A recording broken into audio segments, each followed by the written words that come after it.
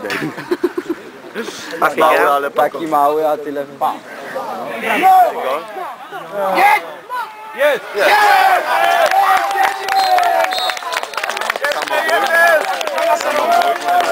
do kamery. Było widać. Jeszcze jeden! Jeszcze jeden i do domu! Dziewiąta bramka dla MKS-u z Strzelcem gola Patryk. samobójczy.